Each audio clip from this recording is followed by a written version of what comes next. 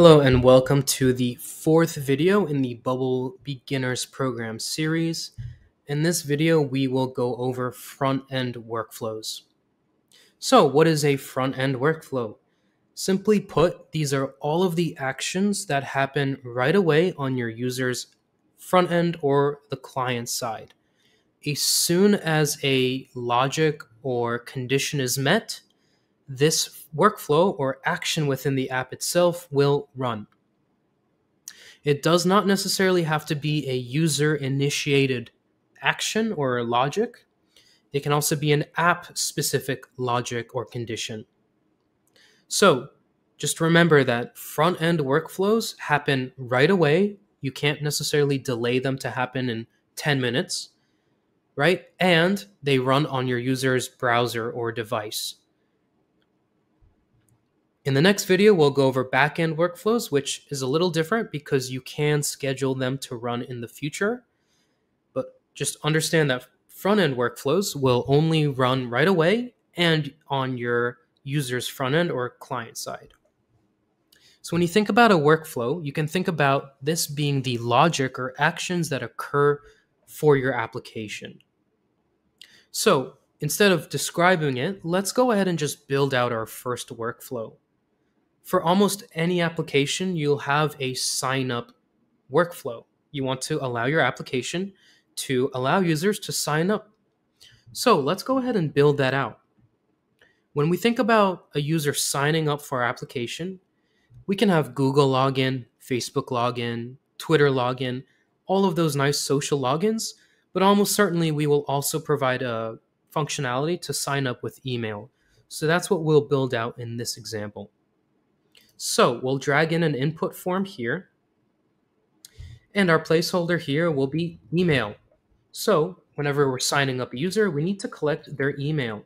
So for that, the content format will be email. Now, of course, we also want to say this input should not be empty because we are required to capture the email from the user. We'll quickly copy and paste this input and now we'll have the placeholder say password. So here we're allowing the user to choose their own password as well. And the content format in this case will be password. And the same thing here, this input should not be empty. Now, in terms of signing up user to Bubble, those are really the only two fields that you need. So let's go ahead now and add a button below. And we'll call it sign up. So now that we have our three visual elements that we need, we can now click Add Workflow. And now you see it here in your Workflow tab. So for all actions that happen on your application, in your Bubble application, they will all be here in this Workflow tab. Now, the structure of a workflow is, again, it's a conditional statement in the sense that something has to be true for that workflow to run. So in this case, every workflow starts with when. So for this example, it's when the button sign up is clicked. Now, what should the application do? What are the steps that need to run and occur for this specific workflow event? So in the first case, we'll go under account and we'll say sign the user up. So as you can see, we'll drag this over what Bubble is requiring from us is an email and a password. So what we need to do is take the values that the user types in on their front end, on their UI, and pass that to Bubble. So here for the email, we'll say input email value. Now for password, if we go back here, let's just quickly go here. We have it titled input email as well. So let's change this to say input password. And again, this is another reason why it's important for you to name your elements correctly. So let's go back to our workflow. And now for password, we'll say input passwords value. And that's really it. So at this point in time, when the user fills out that email input, that password input, and clicks sign up, Bubble will go ahead and create a user account and what this really means under the hood is that it's creating a new instance of this user data type, right? So as soon as the user clicks sign up, we will have a new entry here with that new user. Okay, so now we have signed the user up. It's creating that new entry. Now, of course, because this is a user that we're signing up, we can collect more information and actually store it in our database. So for example, we have first name here in our database as a data field. So if we want, we can go ahead and just quickly copy and paste this email input. Let's drag it up to the top. And here, let's say placeholder first name and the content format will be text. So now if we go back to workflow, we have first name and we'll say input first name's value. So now we're also saving the user's first name into the database as well. Now, if we take a look at the other fields that we have, you see here we have date of birth. Does it necessarily make sense to collect the user's date of birth right away as they sign up? Probably not. We can defer this to later on in the user journey. Once they've signed up, navigate it to the user dashboard, maybe they look in their settings. There we can go ahead and collect their date of birth. So you don't have to collect everything in your database, right, for the user data type right away. You can definitely leave some items blank. So for signing up a user, it makes sense. We really only care about maybe their name, their email, and of course a password, and then we create that user account. Now, at this point in time, the user is, you know, signed up to our platform, our application, and they are also logged in as well. So, a workflow can have more than one step associated with it. So the logical next step here is when we sign the user up, let's go ahead and send them an email as well. So the to field here, because the user is already signed up, will say we're sending it to the current user's email. The sender name can be my app, subject can say welcome, and the body can say hello, welcome to my application. Awesome. So now every time a user signs up, right, we're going to create a user account for them. It'll automatically log them in. And then we will also send them an email as well. Now, if you remember from our second video when we talked about UI design, we said that for visual elements, we have conditional statements. The cool thing is for workflows, you have conditional statements as well. So you see here, send an email. Here at the very bottom, we see only when. So here we can say only when current user's first name is Bob. Okay, it probably sounds ridiculous, but in this case, we are only going to send an email if the user's first name is Bob. For everyone else that goes through this workflow and signs up for our application, if their name is not Bob, we will skip step two in this workflow. So as you can see, you can start adding conditional statements to specific steps within your application, or you can add a conditional statement to the event as a whole. So here we can say only when current user's first name is not Bob. Now, actually, this doesn't make sense because they're not logged in. So in this case, we might want to say input first name's value is not Bob.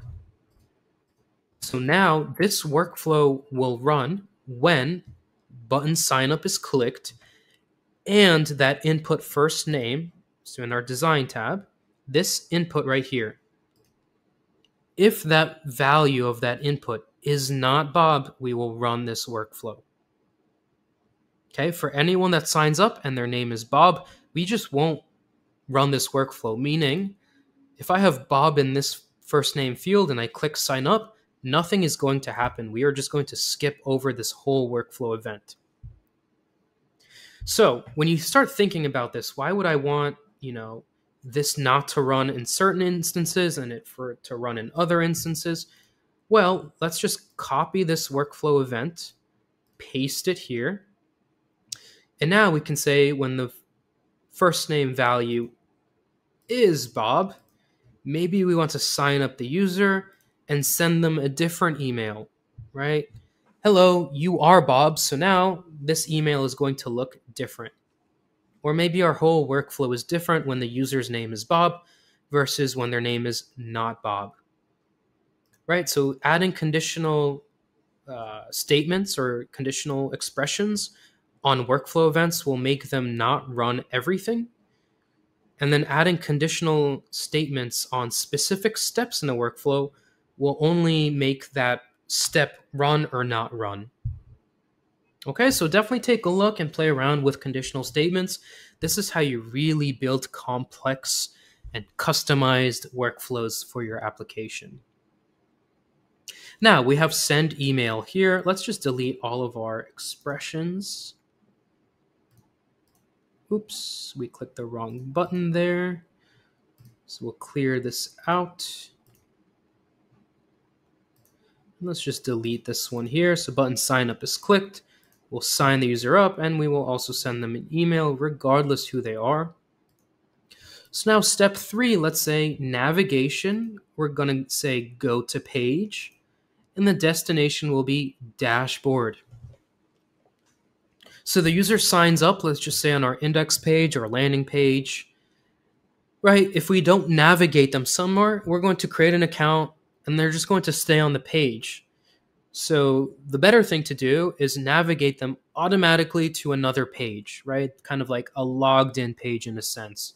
So here, once a user signs up, we'll also automatically create them account, we'll log them in, we'll send them an email, and then we'll go to the page dashboard. One thing to note as you're building out workflows, going to a specific page will always be the last item in a workflow. It doesn't mean you have to have navigation take place for every workflow. What it does mean is if you want to navigate the user to another page, it basically has to be the last item, right? The last step in your workflow. If we drag this out to step two, you can see we actually have an error here go to page dashboard must be the last action in the workflow, which makes sense, of course. So that's it for front end workflows. Highly suggest you create some very simple workflows to begin with. Make sure you're linking them to, you know, the, either the database or the front end, right? Grabbing inputs from your users. Try to build in conditional statements into the workflow event itself as a whole, as well as the independent steps. And then lastly, take a look, take some time and take a look at all of these tabs that you have here. You have specific workflow steps for a user's account, for navigation, for data. So for example, we haven't actually created any data here, right? We could also say data things, create a new thing, in this case, what a thing is, it's an instance or an entry in your database. So we will select the user type, or excuse me, the data type. So for example, maybe we want to automatically create a seller every time someone signs up. So here we're creating a new item in our database called seller, right? An instance of a seller. Data things, we can also make change to a thing, and we'll get to this later on as well. You can send an email, you can do payments, you have all of these. So, highly recommend you take a look through all of these and just try to build some very easy workflows to begin with. Don't try to make it too complex in the start. So, thank you for watching. This was a video on front end workflows, very introductory. In the next video, we'll go over back end workflows.